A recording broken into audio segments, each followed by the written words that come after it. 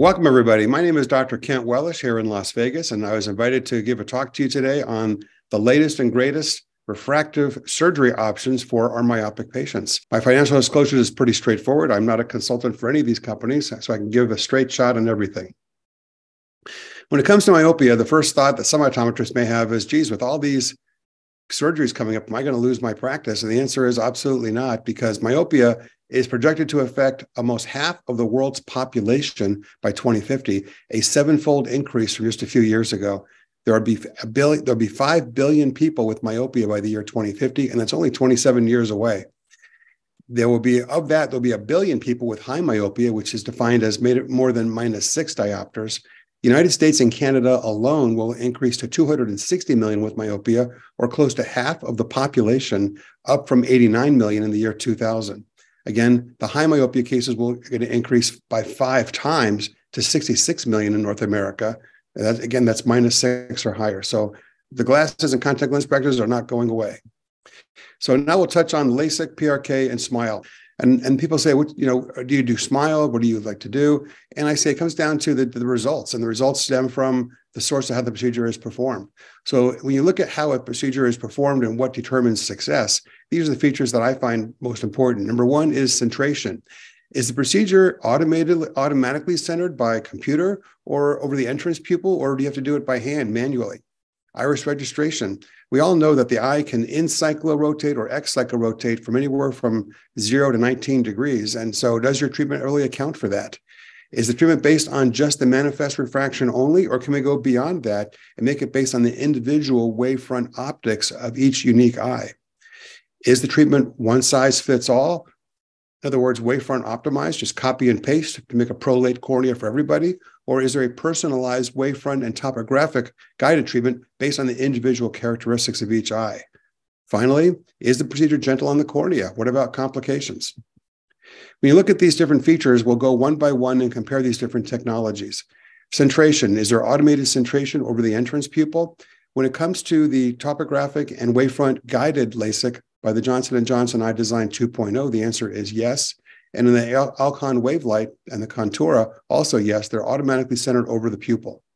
With the smile procedure, it's not it's not automatically centered. You have to put the suction ring on the cornea, and when you hit the suction on, it will sometimes move like a Ouija board to sit on the eye the way it sits on, and it's done manually through manual visualization through a video monitor. So obviously, parallax is a, is a concern. Iris registration. Does the treatment correct for cyclotorsion or head misalignment? Again, on the iDesign, the answer is absolutely yes. We do that all the time. In other words, when the patient lays down, it takes a reading on the iris details and adjusts the laser beam accordingly. On the Alcon Wavelight, no, it's it's what's called wavefront optimized. It gives you the average of what they think would happen. But if the eye does cyclorotate a little bit, it's not that big of a deal. You lose a little bit of vision, but if it cyclorotates up to 19 degrees, it could be could affect your outcomes. With the smile procedure, it is prone to cyclotorsion treatment errors because again, you're just putting in the refraction, putting in the cutting the lenticle, and that's it. Next question Is the treatment based on the manifest refraction only or based on the individual wavefront optics of each unique eye? On the latest Johnson & Johnson iDesign 2.0, the answer is yes, it's based on more than just the refraction. You have 250, 1,257 pixels over a seven millimeter pupil, and each one of those is to a 0.01 diopter accuracy. So each one of those pixels is the individual wavefront optics of each unique eye. On the Alcon Wavelight, it's based on the manifest, the manifest refraction only to 0.25. The SMILE procedure also is just based on the refraction. So when it comes to comparing these different technologies, the iDesign 2.0 with each pixel being 25 times more precise than the Alcon Wavelight or SMILE, in theory, that should give it an edge. This is what the wavefront analysis looks like. We look at not only defocus and astigmatism, but things like coma, and it gives you the individualized total wavefront map for each unique eye. Next question is, is the procedure gentle on the cornea? What about complications? As I'll show you with some videos, the LASIK procedure is done on either the Johnson & Johnson iDesign 2.0 or the Wavelight or any kind of LASIK procedure that uses a femtosecond laser. Nowadays, it's pretty gentle on the cornea. The smile is not so gentle. If you notice, if you're seeing lectures from people that do smile procedure, very rarely will they actually show you a video. I'm going to show you a video that's been un, that's only been edited in that we show you different steps of the procedure. So In our meetings, at the beginning when LASIK first came out, yes, there were talks on how to do the procedure. There were courses on how to handle complications, but those are pretty much over and done with. We don't really see those courses anymore because they're not that common and they're pretty straightforward to take care of. But when it comes to smile procedure, even though it's been around for over five years, most of the courses on complications at our at our meetings, even the courses on refractive surgery, is how to handle the complications of smile, even though it's been several years, it's been around. The reason is the smile procedure is more prone to complications since there's more suction time. It takes twice as long to cut the back of the lenticle and the front of the lenticle, and then you're not done. You have to rip out the lenticle, and it may be difficult sometimes to rip out all the little bits and pieces of the lenticle. This is a, a, snapshot of recent meetings that have been, have been advertised online for ophthalmology. On the bottom left, you'll see management of complications in SMILE. On the bottom right, it was just from about a month ago. And the course is actually called Help Me, I'm Stuck Techniques and Tips for Managing Retained Lenticles in the SMILE Procedure. So you can see this is still a current topic. Now, I've given you the theoretical reasons why one might be better than the other, but what is what, where does the rubber meet the road? What are the actual results? Well, a colleague of ours, Dr. Kanellopoulos, who has a practice at NYU, but also in, in Greece, he did a study among 21 patients where one eye had the iDesign 2.0 and the other eye had the smile procedure. And what he found is after four years, found that more than 90%, 92.4% of the LASIK eyes had 20/20 or better, but only a little less than 80% of the smile eyes had 20/20 or better. That's a p value of 0.002. So, of all these different options, it's only the iDesign 2.0 that uses the individualized measured wavefront optics combined with topography to give you the best result for each unique patient. Each treatment is truly original. As you can see on the bottom left, they did a study on measuring how much cyclotorsion really makes a big difference. It's a bell-shaped curve as you'd expect, but you see it ranges from zero to 19 degrees between in cyclotorsion and ex cyclotorsion. This is an actual video from a recent LASIK case that we did. And you can see this process of making the flap. Suction is on. The bubbles make billions of bubbles per second, goes across the cornea. The process takes about 14 seconds from the nasal hinge to the periphery. And then we're done. Next thing we do is is measure for iris registration because again you can have in cyclotorsion or ex cyclotorsion. These features are not act, available for the wide or the smile procedure. Patient's looking at the blinking light, active crack on. He's measuring the iris details. Looking at the iris details.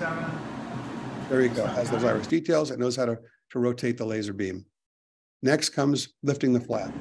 Lift your flap up. Boom. We're done. Next part is doing the treatment. Here we go. This is about minus four treatment, takes about 28 seconds. Even though you see the light, the microscope and the eye moving around, there's autocentration. So if the eye moves, no big deal. It moves a little bit, it automatically tracks the pupil and the iris. It moves more than a little bit, it turns the laser off to the, to the right parameters. And five seconds to go, and the treatment's done.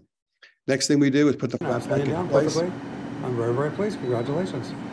Now compare that to the smile procedure. Smile procedure, you're putting the suction on the eye at about the 11 second mark. You're starting the, your suction is on at 13 seconds. You're looking at the blinking light. Again, you're doing the best you can to put the suction on the eye as centered as you can. It makes the lenticle with the bubbles on the back half of the lenticle. And now it's making bubbles on around the periphery and then the front half of the lenticle, more bubbles from 14 seconds. Now you're up to 37 seconds. Still suction is still on. At the 42 second mark, now the suction has been on for roughly 30 seconds. That's, a, that's twice as long as the LASIK procedure. Next thing we do is you have to open the pocket. There's a lot of resistance opening the pocket. So you're, trying to use a Q-tip here to be gentle on the eye, using a, basically a modified bent paper clip type of device. And now use a spreader to go underneath there and try to loosen up the adhesions of the lenticle to the inside of the cornea that you want to leave behind. Then you have a, a little wider device that's exchanging for. Again, the eye's moving too much with the Q-tip, so he's got to stabilize the eye, which can cause some conj hemorrhage sometimes more of a paddle-like device that you're really going in there and you have to be very vigorous to break those tough adhesions between the lenticle and the cornea. Now you got to go through the front half above the lenticle, and you're spreading to break all the adhesions between the two layers. And all this is because the, the, the only thing you use to enter it in is the refraction. There's no way for optics. If you look and see where the edge of the lenticle is being cut from, where the entry site is, there's a lot more space below than there is above, which means it's a it's a decentered treatment. You can see how the, the space from the edge of the incision to the to the limbus is a lot smaller than there is inferiorly. Next, you, you've separated it all, and now we're going to go in there with some forceps and take out the lenticle. This is what a smile procedure looks like. Okay, you've taken it out, putting it on the cornea. After you've done that, you spread it on the cornea and irrigate it with saline. The reason you do that is you want to spread it out and make sure you're not missing any, any large pieces. Small pieces you really can't see, those are left behind. So again, the surgeon is spreading it out with balanced saline manually inspecting, and it looks like it's basically all there. So you feel like you're, you're good to go. So again, I give you the reason why, but the better results really point to when you have combined wavefront and topographic guided LASIK, results of being more than 90% 20/20 or better versus a little less than 80% with SMILE. For that reason, even though SMILE has a lot of marketing behind it of supposedly less dry eye, I'm not really seeing that as long as we prepare our patients properly and we don't treat people with severe dry eyes. We and if we do have dry eyes afterwards, which is not that common for it to be severe, we just treat it aggressively per the DEWS 2 study. So what about dry eye? As long as you examine and test for and treat dry eye ahead of time, the SMILE procedure, in our experience, has no better outcomes than PRK or LASIK, provided that LASIK is performed with a nasal or temporal hinge. Of all these procedures, by definition, they're all types of eye surgery, and we tell all of our patients that all forms of eye surgery can worsen a dry eye condition. Therefore, we all need to be attentive to thorough examination, ocular surface disease treatment, and patient education, regardless of the procedure. And if you do that, then SMILE is no better than LASIK regarding dry eye. Every patient should be evaluated for dry eye before any ocular procedure, and those with mild to moderate dry eye should be treated until the dry eye is mild to none then PRK or LASIK are safe. Again, the reason I used a temporal or recommend a nasal or temporal hinge is that it preserves the, the long the anterior long ciliary nerves that come in from the side. A superior hinge, you sever both of those both of those nerves, but if you leave behind a nasal or temporal hinge, you're preserving half of the of the innervation. Those with more than mild dry eye eh, from should, should not have any kind of ocular procedure, not even smile. There have been some disaster stories in the news of severe dry eye after smile. And even those cases could have and should have been prevented and treated successfully simply by following the DEWS 2 study recommendations. So I've touched on LASIK, PRK, and SMILE. Now we're going to give you our approach with higher myopes, with ICLs, with EVO, not just for high myopes, people who may not be a good candidate due to dry eyes or other reasons for LASIK, PRK, or SMILE. Latest improvement has been last year, the EVO, which is the hole in the middle of the ICL. So when it comes to the EVO, it's important to understand these are not lens implants like we use for cataract surgery. This is a special thing called Collamer. And the Collamer is a collagen copolymer.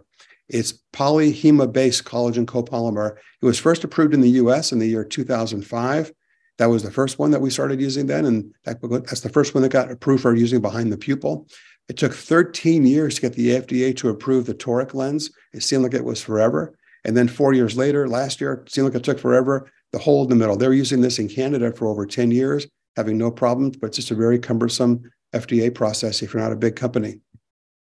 The addition of the central port of the, of the EVO facilitates the flow of aqueous humor through the lens, thereby eliminating the need for peripheral iridotomies prior to implantation.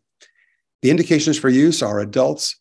Uh, this is the FDA indications for use are adults 21 to 45 years of age for myopia with or without astigmatism. Now, in actuality, we really would not recommend these in younger than 21, but because of the success of this procedure, if somebody presents to us and they're 47 or 48, they really don't have a cataract, they really are bothered by this stuff. You're talking about doing a, a clear lensectomy on a minus 15 patient. It's a lot safer to do the ICL than a clear lensectomy because the risk of detached retina, detached retina goes up in a high myope after cataract surgery. So we, we call this off-label use, and we don't we can't say that we recommend it, but we have them sign a release form that informing them that it's off label and people understand what they're doing. We've had great results with this technology. There's been now over 20 years of experience in eyes globally. There have been over a million ICLs implanted worldwide, and it's growing rapidly now that the now that the Evo is out. So it's a very large tradable market and very favorable demographics. On the bottom right, you see the little toric marks, how we align the lens for the astigmatism. The advantages to ICLs is that it maintains the prolate shape of the cornea. That gives you sharp, clear vision excellent night vision. It does not really cause dry eye. It's only a tiny incision, so it's minimal, the, the addition of dry eye. It's a fairly quick procedure and recovery. We do usually both eyes the same day, and they're back to their usual activities the next day. There's no removal of corneal tissue. It's totally reversible and removable by the surgeon, and the protection from UV rays should not be overlooked. Again, the indications as low as three diopters, minus three, but as high as up to 15 to 20 diopters of myop- myopic astigmatism. And cylinder can be treated anywhere from one diopter to four diopters at the spherical plane. If you add the limbal relaxing incisions to the to the toricity of the lens, at the time of surgery, we can correct up to six diopters. And if somebody has even more than that, we can do PRK afterwards to fine tune it. There are some uh, some some qualifications, obviously. Not only the age, but the anterior chamber depth has to be big enough to accommodate the lens. It has to be at least three millimeters. They have to have a stable refraction with only a half a diopter change in spherical equivalent and still over the last 12 months. But again, importantly, the dreaded peripheral iridotomy no longer is required. So I'm going to show you the, the platform of the Evo. The Evo toric and uh, and and regular Evo plus toric, they have the same Collamer platform and, and vault design as the as the older ones, but the the toric, if you see on the bottom of the, of the slide, has these little lines on there and though that facilitates the alignment of the lens. The cylinder is on the anterior surface optic. As far as predictability, it's pretty amazing that the ICLs come to this point, but, but 90, over 90% are within half a diopter and more and almost 99% are within one diopter. And this is including all the high myopes, which is pretty remarkable. Overall, as far as uncorrected visual acuity, the vast majority are 20/20 or better at all time points. 87.6% 20/20 are all time points for six at six months and 97% are 2025 or better. Again, this includes even the super high myopes. Interestingly enough, compared to other procedures, we talk about eyes that can lose best corrected acuity. It's more common that people actually don't change, or 52.3% actually gain lines of corrected visual acuity by six months or more. And no, no eyes so far have lost more than two lines of corrected distance acuity. This shows you intraocular pressure, how it's fairly stable. You could get a post-op pressure spike in the first day that we burp the wound for if necessary. Now, the central port design it maintains the physiologic aqueous flow with zero pupillary block, zero anterior capsular cataract, and eliminates the need for the peripheral iridotomy, which was kind of a pain in the neck to do for patients ahead of time. The results of this clinical trial definitively demonstrated the safety and effectiveness of the EVO, EVO Plus sphere and toric lenses for the correction of myopia and myopic astigmatism, Although the EVO is a step forward from having to do a PI, we still counsel our patients that although the dysphotopsias from EVO are usually less noticeable than from a peripheral iridotomy, a central circular dysphotopsy, dysphotopsia can be noticed early on. It usually fades due to neuroadaptation, but it can persist. So we're very careful to explain to our patients this is a step forward from a PI, but you could have that central dysphotopsia that could persist. Having done about 30 of these so far, we've not seen a single complaint, but we still warn everybody about the possibility. The bottom line is when you ask people, hey, would you do it again? Over 1,500 patients that were surveyed with the EVO, 99.4% said they would definitely do it again, which is pretty impressive. This shows you again the schematic where the ICL is behind the iris in front of the lens, and the bubble, the, the aqueous is flowing through the central port. So we've touched on LASIK, PRK, and SMILE. We've covered ICLs. Now we'll talk about the latest and greatest in cataract surgery and refractive lens exchange procedures. As most of you know, it seems like multifocal lenses have been around forever, but it's really been about 15 years. With IOLs such as now nowadays PanOptix and Symphony and Synergy, patients now are routinely seeing far, mid, and near without glasses if they want to. Unfortunately, so, so are the side effects. They've been around for 15 years also. If you look at the lens design, they have rings in them, and those rings focus the light. They split the light to be far, mid, and near. And as a result of that, not surprisingly, this shows you an artist rendering of the reproduction of what halo, starburst, and glare look like. We show this to every patient thinking about cataract surgery or lens exchange who's interested in a multifocal lens or some similar technology. So, because of those side effects, there's now a newer generation of what's called extended depth of focus lenses that don't give you those side effects, and those are now coming into vogue. The new generation ones are called EDOF or extended depth of focus, and the two leading ones that are most commonly talked about are the Vivity and the light adjustable lens. We'll, we'll, we'll start on with the Vivity since that's the most commonly used one and it's the least hassle factor one. The Vivity lens expands the visual possibilities by it's the it's the first and only non-diffractive presbyopia mitigating IOL that gives you exceptional clarity, very comparable to a monofocal lens. It gives you monofocal quality distance with excellent intermediate and functional near vision. We tell people about arm's length. There, the technology, instead of splitting the, the lens, the light, is called non-diffractive X-wave technology that stretches and shifts the light without splitting it. The results are that people can expect monofocal quality, 2020 at the distance, excellent intermediate, a little better than 2025, and what we call functional near, 20, 30, 2032 at 16 inches.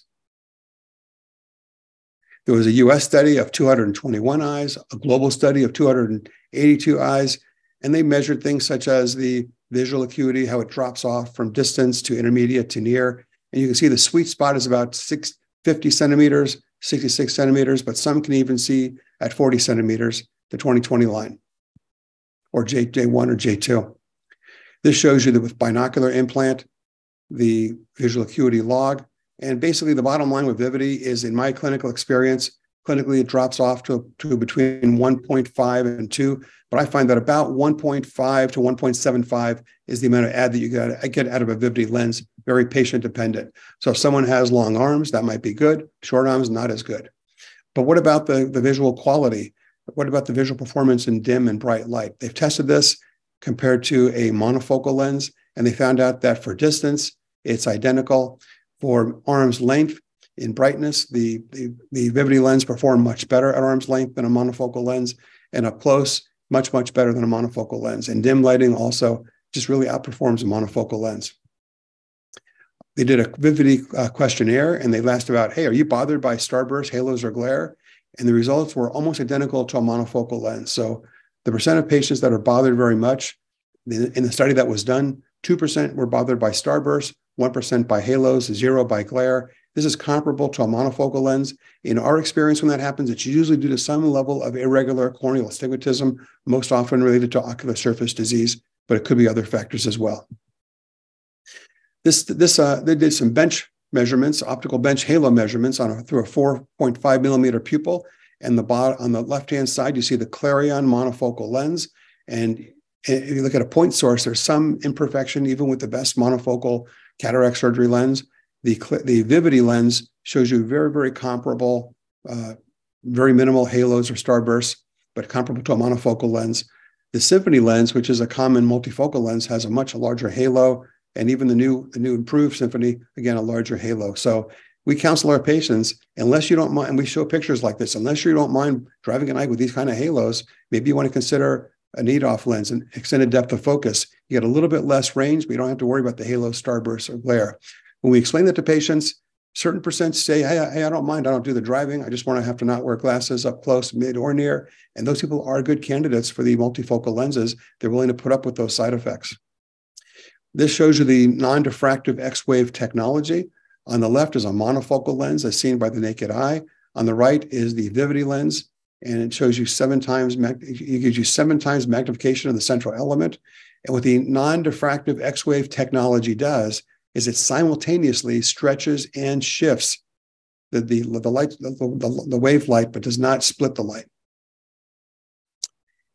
So there's a, there's a transition element. Number one, it's slightly elevated, smooth plateau, one micron in height stretches the wavefront, creating a continuous extended focal range. There's a surface transition two, small curvature change across the 2.2 millimeter region that shifts the wavefront to utilize all available light energy. These are so subtle, and you can see them if you look closely, but it's so subtle, it does not really cause extra halo, starburst, or glare. This shows you a schematic of how the wavefront is altered. This shows you a comparison of a monofocal lens on top, where it's a continuous range from about plane from distance to about maybe minus a half, maybe minus 75. There's some asphericity to these lenses these days that gives you some, some benefit that way, but you should not expect any kind of mid-range or up close with a monofocal lens. The synergy lens, second, shows you three different specific points where it's accentuated to give you the far, mid, and the near, but also gives you the side effects of the halos or glare. Similarly, with PanOptix, gives you discrete areas where the focus is most, most impressive, but again, you get the side effects. The Clareon gives you that continuous range from far to mid to almost near about minus 0.75 in my experience, between minus at, at about 1.5 to 1.75. And that's precisely focused light. What about the accuracy and astigmatism? Past studies have shown that the, the these lenses can rotate, but the newer technology with the Clareon platform is much more stable. So in a recent study of this newer technology, 95% of Clareon toric IOLs rotated less than five degrees between surgery and one day post-op. And at six months post-op, the, abs- the average rotation was about 1.8 degrees at day one and at and two degrees at six months post-op. This is within the margin of measurement error. In, satis- in surveys, in, st- in studies that have been done nationally, 90% say they're satisfied.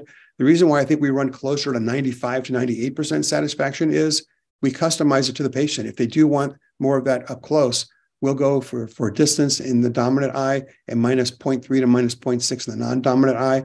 That micro monovision does not seem to bother them as long as they're counseled ahead of time.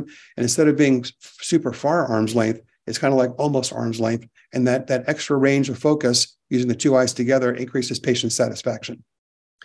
Interestingly, 93% say they definitely would recommend it to a family or friend, compared to 84% who'd recommend that to a family or friend. There are all kinds of questionnaires when you get these, these new technology lenses, but the bottom line is who's having glare, who's not having glare, and it's very comparable to a monofocal lens, almost identical. As far as contrast sensitivity, also one of the concerns that comes up is, hey, if somebody has glaucoma, epiretinal membrane, even amblyopia, do you really want to put a lens like this in? Isn't it going to decrease their contrast sensitivity? With the multifocal lens, that's absolutely true. We would not put those lenses in. The nice thing about the Vivity and other EDOF lenses is they do this lens does not decrease the contrast sensitivity, either with glare or without glare, which is pretty impressive. So there's really no contraindication other than making sure the patient's informed of what the lens can accomplish for them.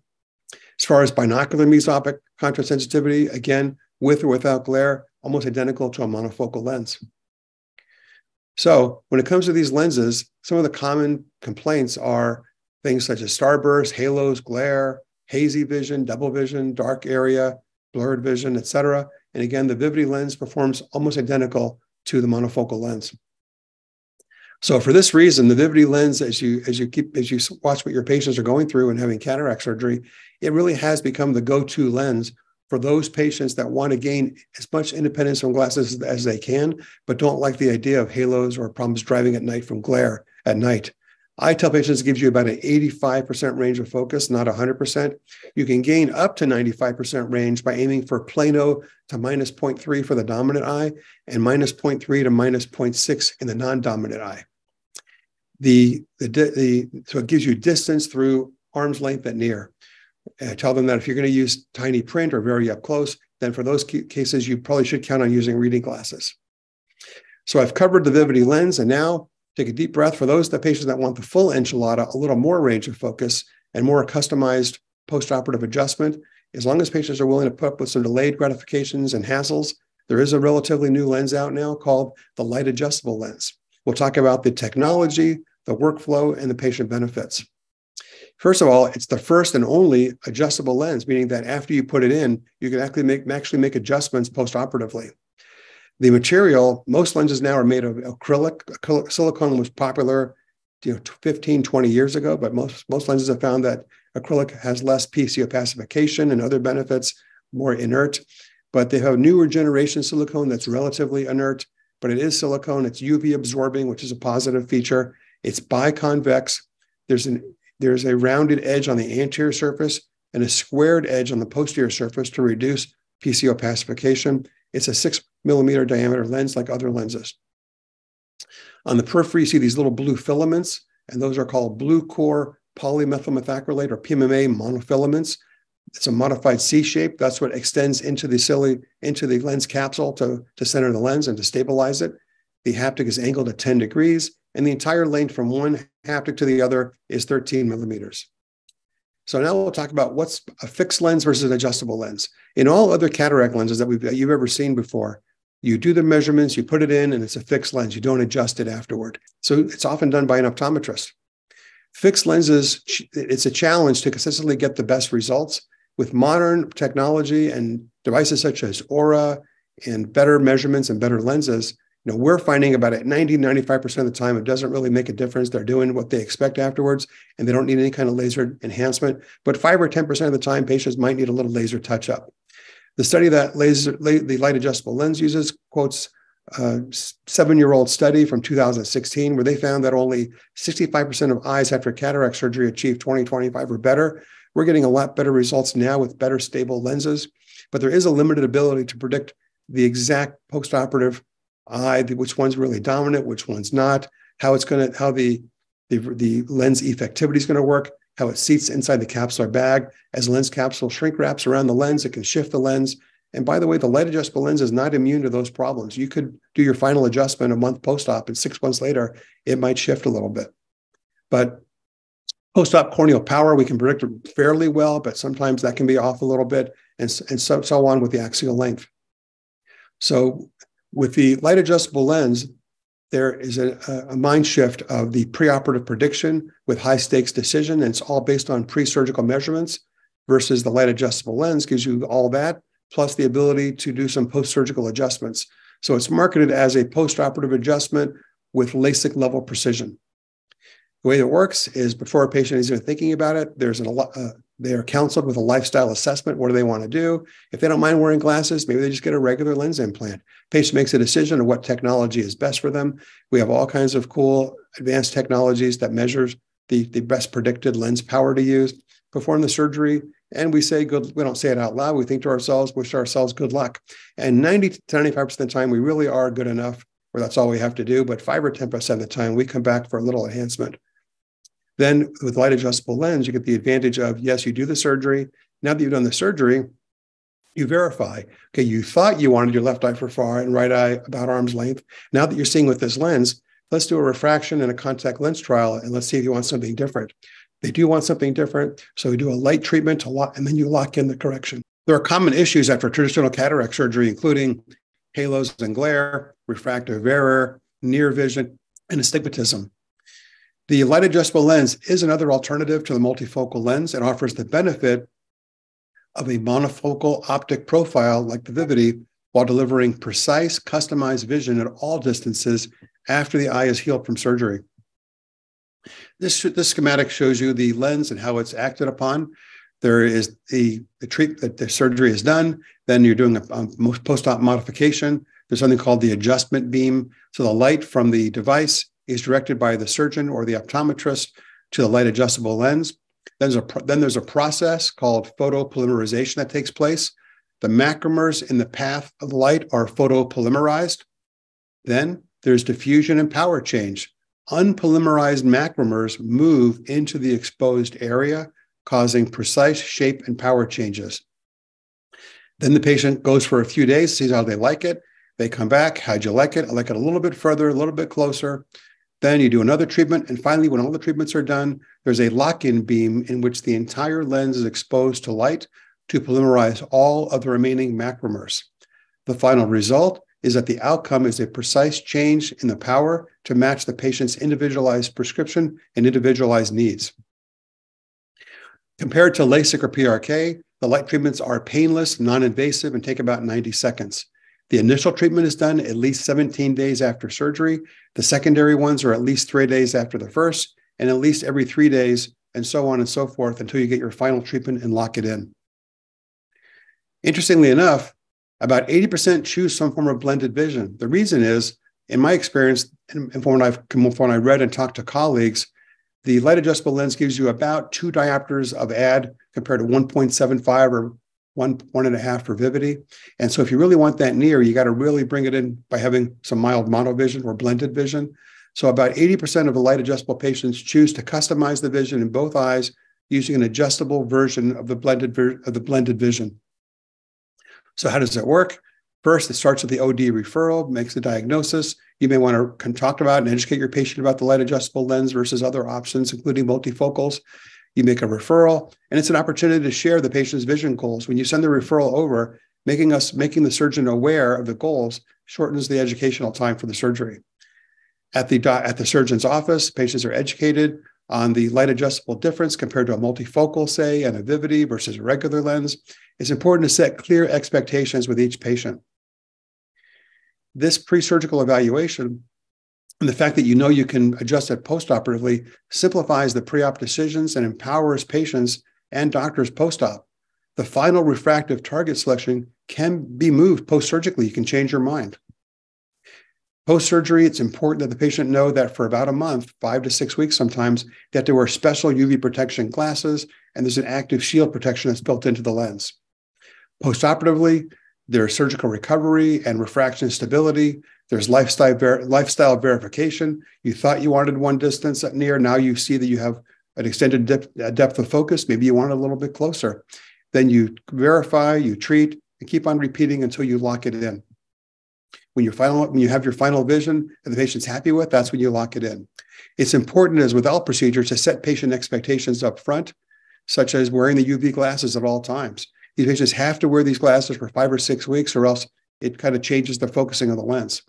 The light adjustable lens involves two to four additional office visits for the treatment, and each one takes anywhere from a half an hour to 45 minutes between the measurements and the treatment. So, several visits provide an opportunity for patient collaboration in fine tuning the vision.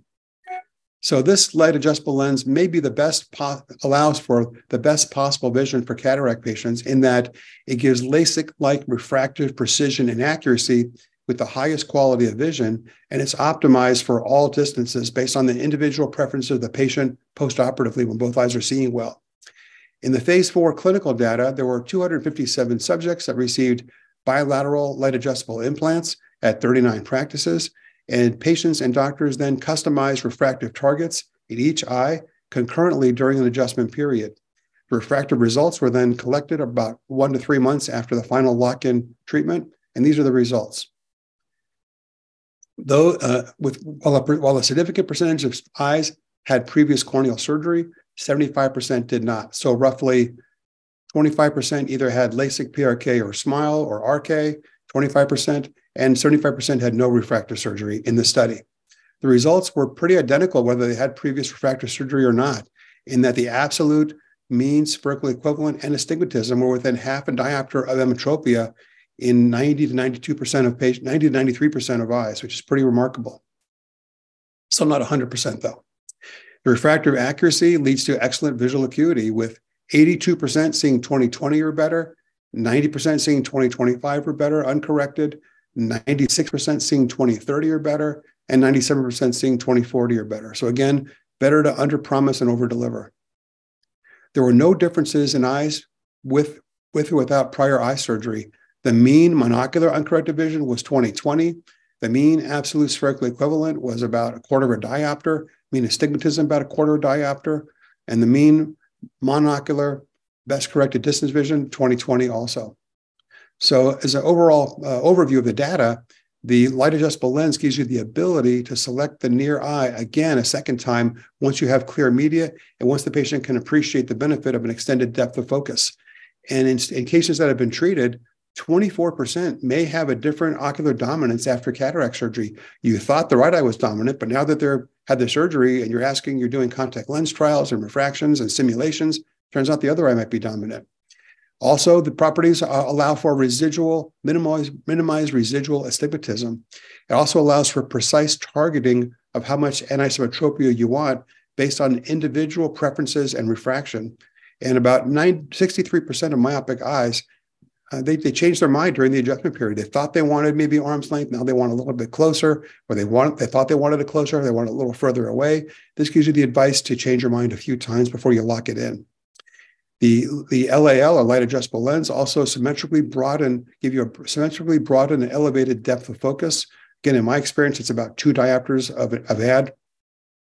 Interestingly, not everybody wants the same thing. In, in, in the uh, studies of how much anisometropia people choose, about half of patients choose 0.75 or less, but about 1.25 may want 75, 75% may want 1.25 or less. And some people, some patients like even up to two diopters of anisometropia. So those people who don't mind the monovision, they may want the closer near. This gives you a chance to fine tune that in real time after surgery. It gives you a better defocus curve, which shows you on the right. And the bottom line of it, as I see it, is that the ad on the bottom right-hand corner is that the Eyhance gives you a, about a, this is also an EDOF lens made by Johnson & Johnson. It gives you an add of about one diopter. The Vivity gives you about a diopter and a half, and the light adjustable lens may be about two diopters. So it's not perfect. It's not the holy grail. That's why blended vision or micro monovision is still a popular option.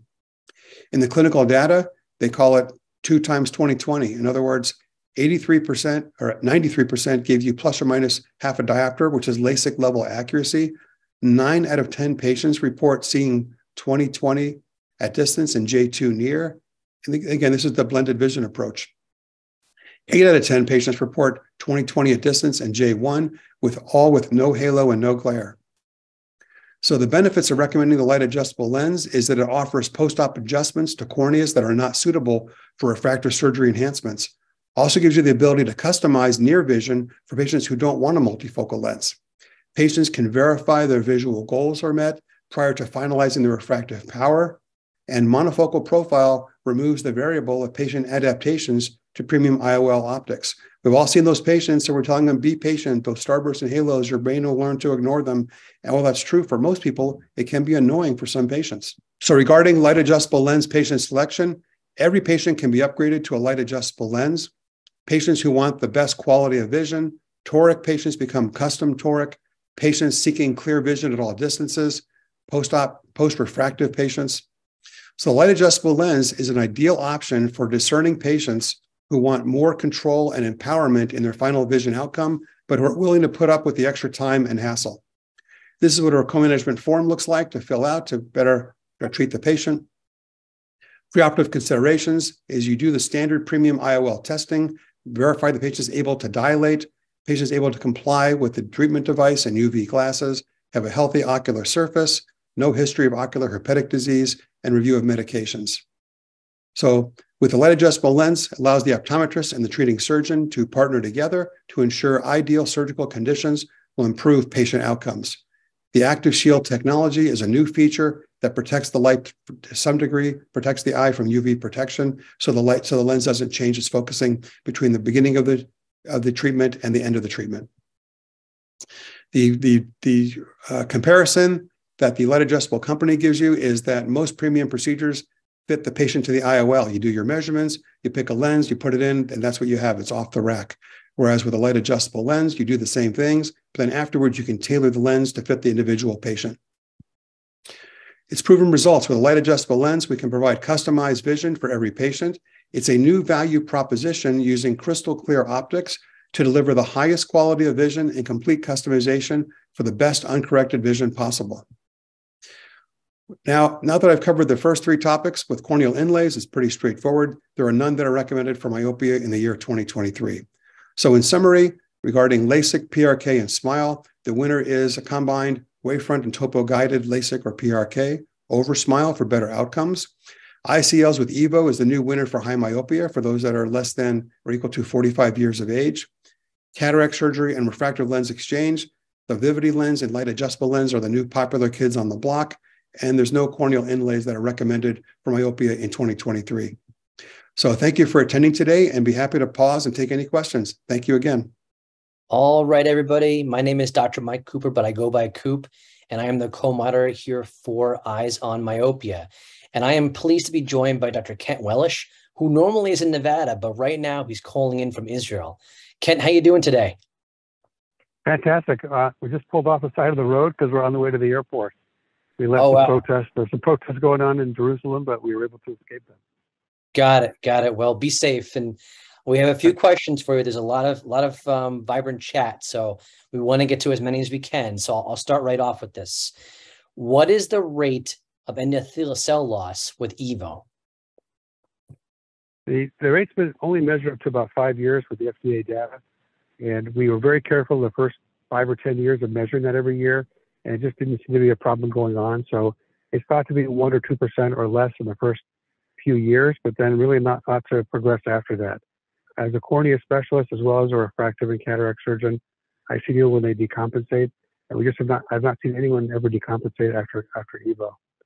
So it's something that is, we do take a cell count. And if somebody is, does not have the right number of cells preoperatively, they're not a candidate. There's very strict FDA criteria. But once they meet those criteria, we just haven't seen that being an issue. Right. Obviously, with So many, the long term, so after five after five years, there really is no good long term data. It's also very surgeon dependent too. And now, and that that was with regular one. With Evo, it's even it's even better because the because of that hole in the middle, just makes things better and there's less trauma to the eye. perfect.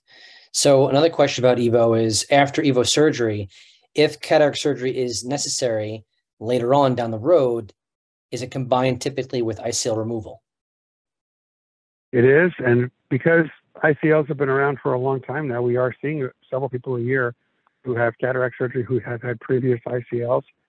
And the technique, if you're an ex, if you're an experienced ICL surgeon, it's a very forward, straightforward technique. First of all, the measurements are exactly the same as if you didn't have an ICL, so it doesn't change how you're taking measurements on the eye.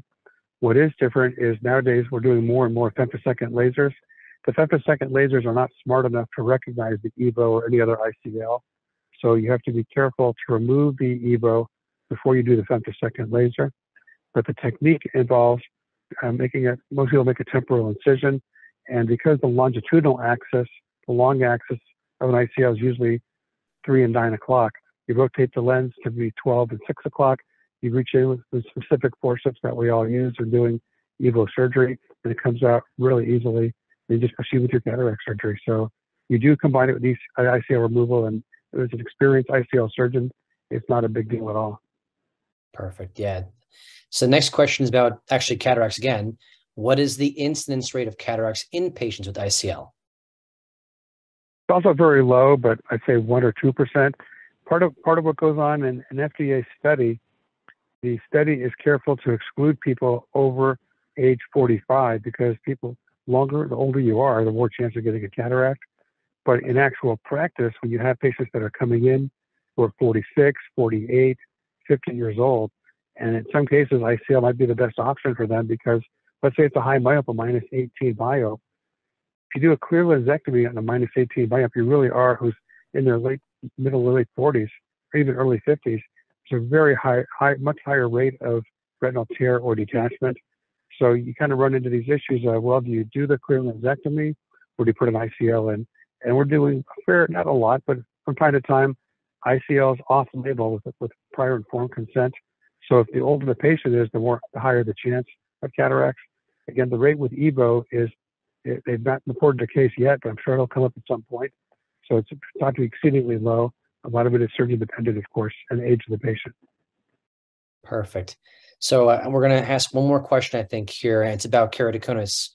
Can you attempt to eliminate HOAs for keratoconic patients with light adjustable lenses?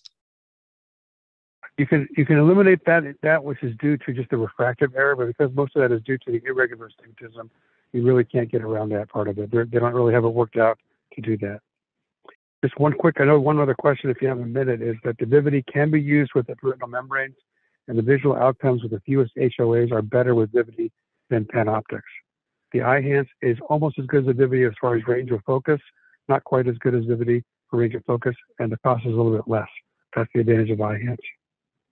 Perfect. Perfect. Well, thank you, Ken. I really appreciate your time and also dedication to uh, pulling off the side of the road and answering all these questions while you're on the way to the airport. So, uh, again, be safe. And for the audience, I have a raffle code for you, and it is HALT, H A L T, H A L T.